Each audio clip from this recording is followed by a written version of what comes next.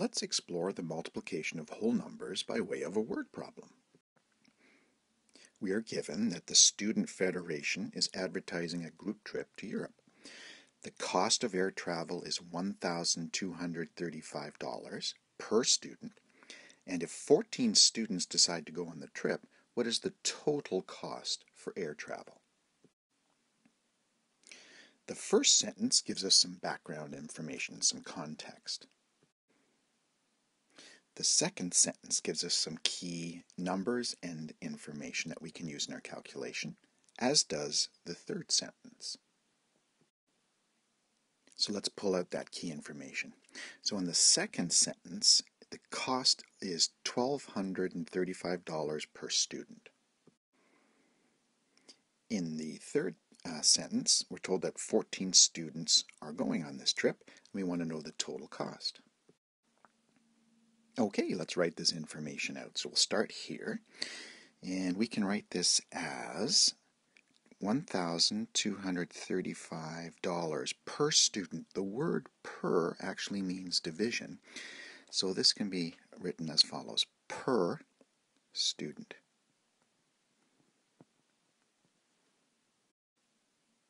Next, we'll get our 14 students, so we write it as 14 students.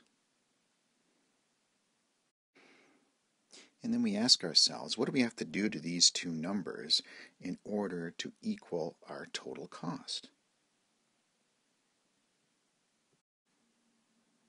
Well, if one student goes on the trip, then it will be $1,235. So if 14 students go, it's going to be a lot more than that. So what we're going to have to do here is multiply these two numbers.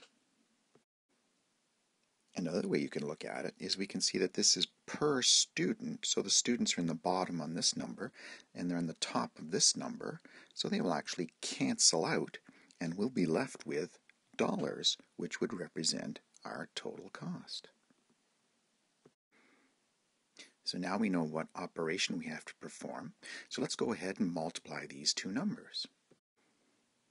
Let's also say that we um, don't have our calculator with us, so we're going to have to use uh, a method to multiply these two numbers together. And I'm going to show you three different methods, and you can choose whichever method you prefer. The first method is called column multiplication. So what we do is we take the largest number and put it at the top, and then the smaller number on the bottom. We make sure the place values are, are in the right column, so the ones, the tens, the hundreds, the thousands. And we start with the number 4, and we're going to multiply it by everything in the top row. So 4 times 5 is 20. So we put the 0 of here, and we're carrying the 2 for the next column. Then we multiply 4 times 3, which is 12, and add the carry. So that's 12 plus 2 is 14. So we put the 4 here and carry the 1. Then we multiply the 4 times the 2, which is 8, add the carry, so that's 9. Place it in the right column. There's no carry this time. And finally, we multiply the 4 by the 1, which is 4. And we place that number in the appropriate column. So we've multiplied the ones digit by all the numbers in the top row. Now we're going to multiply the tens digit by all the numbers in the top row. And because it's a tens digit, we have to start in the tens column. So we place a zero in the ones column and start in the tens column. So we start with 1 times 5, which is 5. Then we multiply 1 times 3, which is 3.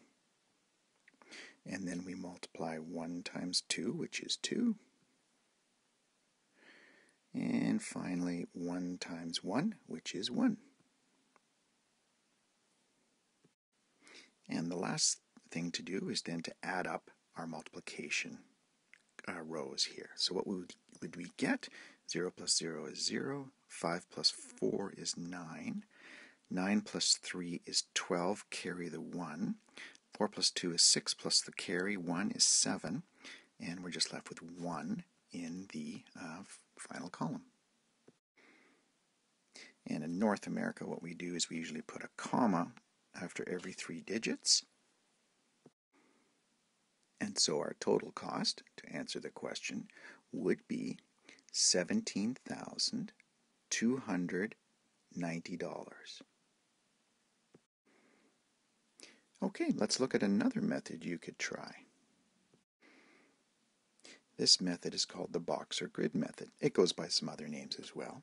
So what you do is you write the largest number at the top, 1, 2, 3, 5, and then the smallest number on the side, 1, 4. And then we create a box with columns and rows. And then we do diagonals. We create a diagonal here, here, here, here, and here. And then we look at each box in our grid and we multiply the numbers associated with that box. So this in this case here would be 5 times 1.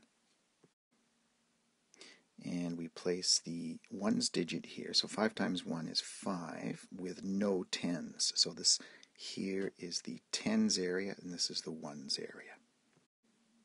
And I'm just using the, another color so it's easier to read.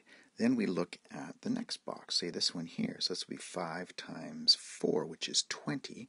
So that would be two tens and zero ones. And we keep going across. So the next would be 3 times 1, which is 3. So no tens and three ones. Then 3 times 4 would be 12. 1 10 two ones. 2 times 1 is 2. 2 times 4 is 8. 1 times 1 is 1. And 1 times 4 is 4. Then what you do is add up the diagonals. So I'll start here. Well, there's only one number here, so 0 all by itself just remains as 0. Next, we add up this diagonal. So we've got 5 plus 2 plus 2 is 9. Then we add up the next one. This is this diagonal. So 0 plus 3 is 3, plus 1 is 4, plus 8 is 12. So in this case, the 2 comes here, and then we have to add 1 to the next diagonal. Carry the 1. So the next diagonal would be the 1 plus 0, which is 1, plus 2, which is 3, plus 0 is still 3, plus 4 is 7. And we keep going from uh, right to left. So the next diagonal would be this one. So 0 plus 1 plus 0 is 1. And then we've just got the 0 up here, so that would just remain as 0 at the end there. So our answer would be this number right here. And when we look at it, we can see it's 17290.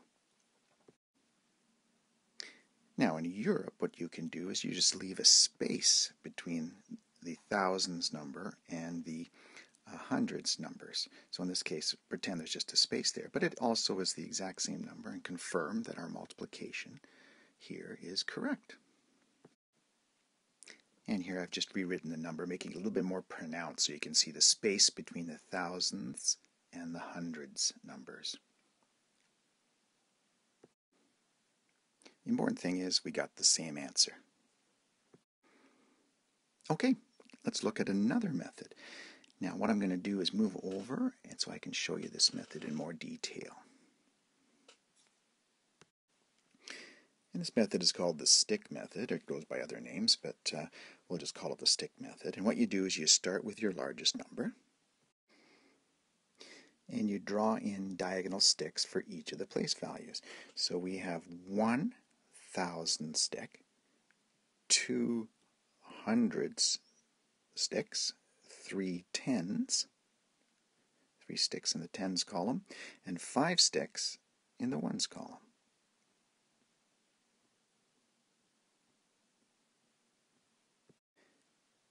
Next, we look at the smaller number and we draw in sticks for each of those place values.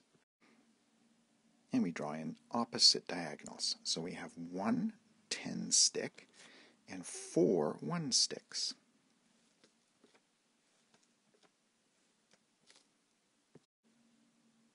Then you go to the diagram, and anytime the sticks cross, you draw a dot. So it's a dot there, there, there, etc.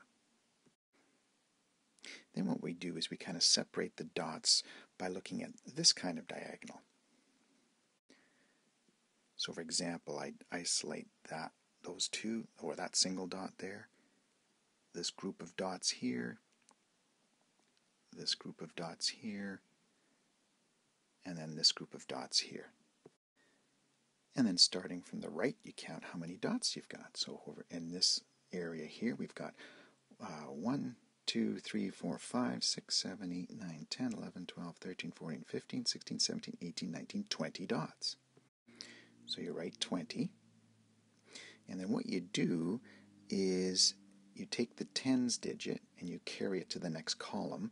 So what I'm going to do is actually say add two dots to this area as well. And then you count the dots all in this area here. So we've got 1, 2, 3, 4, 5, 6, 7, 8, 9, 10, 11, 12, 13, 14, 15, 16, 17, plus 2 is 19 dots. So you write your 19 dots here, and again, you take the tens digit and you carry it over to the next column. And you simply repeat the process.